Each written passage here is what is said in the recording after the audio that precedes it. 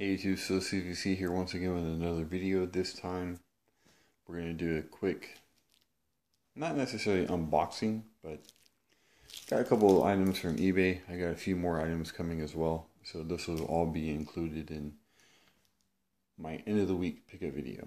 But I wanted to do this today. Today's Monday because these came today and they all pertain to this particular model Nintendo Wii. This is the one I found in the dumpster over a year ago. Um, it works just fine. It just needed replacement parts because the hinges on this panel are completely broken off. And so is this particular front panel here. This door I'll need for the new one, the replacement piece, because it didn't come with it. So I'll just have to take that off when I need to. But I ordered um, original Nintendo pieces, and altogether they're like only like five dollars for the whole thing. Five dollars, I think, for the panels, and like an, I think it's seven or eight for this one. With the free shipping, and they came from the same person, so they all came bundled in the same package. I tried doing this earlier to haven't cut it up, but unfortunately memory card was full, so I had to delete some stuff. So this is already open, but here we go. Here we got the front panel. This is brand new. Like I said, I'll just use the door here from that one and put it on this one. And everything's there, including the connector for the lights, like right there, LED light along with the one that goes around the opening for the CDs. So put that there. Also in here, like I said, you got the panel for the GameCube controller ports. And the GameCube memory card slot.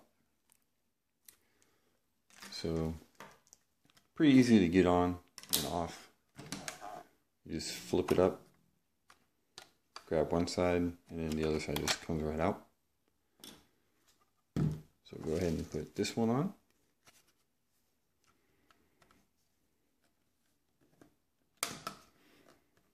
And this one.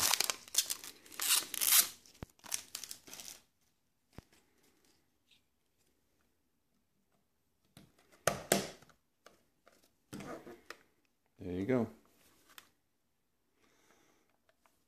Nice and neat. Now, you're probably wondering what's in this package. Well, you definitely need to be able to take off the little tri-wing screws that are on this side. I guess someone else tried just ripping it off so the where these two pieces go would be right here. The covers here would come off and you just get to the screws. So what's in this bag is a tri-wing screwdriver. So let's open it this one. Open it this way.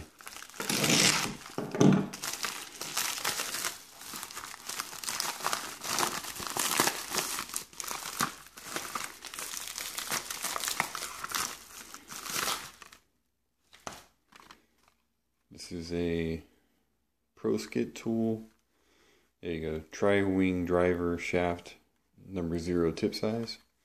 I got the precision precision style, so it's a little bit more sturdier than the ones from China. So open this up.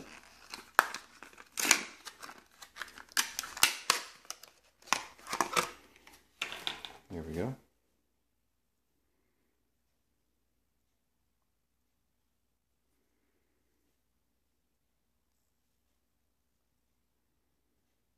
There you can see a little tri-wing tip. Will fit perfectly into the screws on the Nintendo Wii.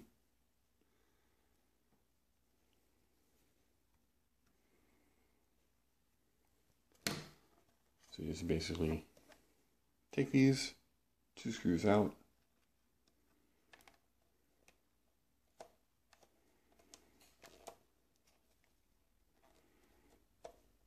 Which I will do it's kind of hard to do behind the camera. So I'm going to go ahead and take these out and quickly cut back to the uh, basically the finished product. Alright, one thing I want to point out to those of you who might be doing this for the first time.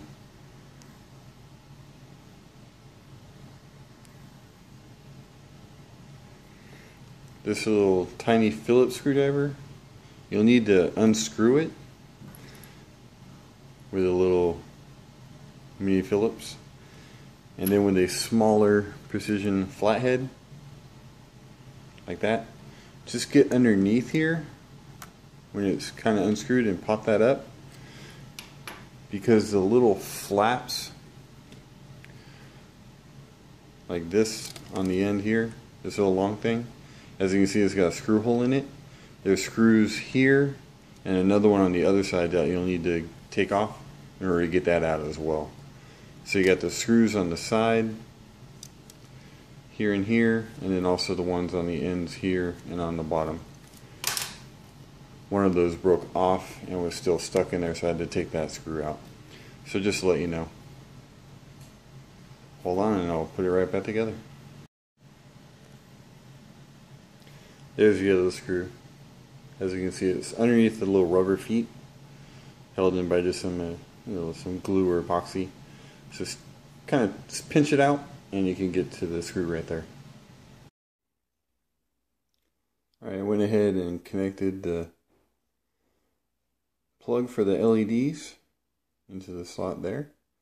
So ready to just kind of fold it over.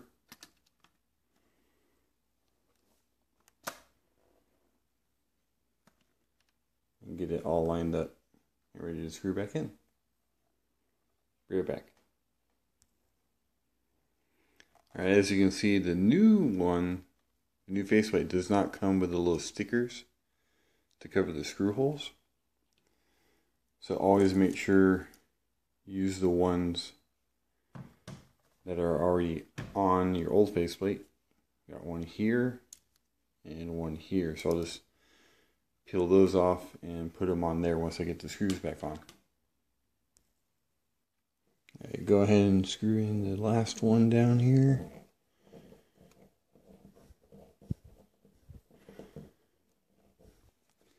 Just want to get it to where when it put the stickers on it sits flush. You don't want to screw it in too much because it is plastic.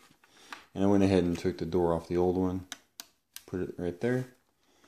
So see what it looks like with all the uh, doors on for now.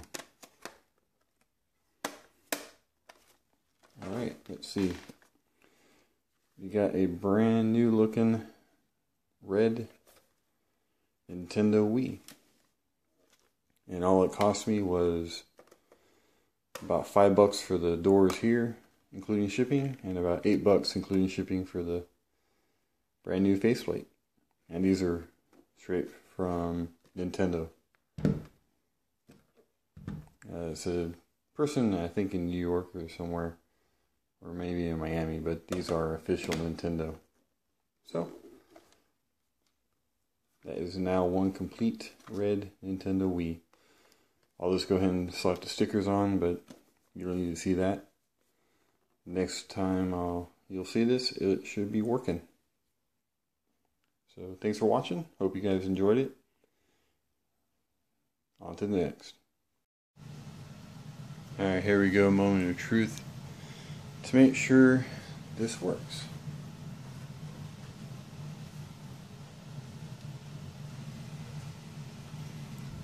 So you got power. Yep.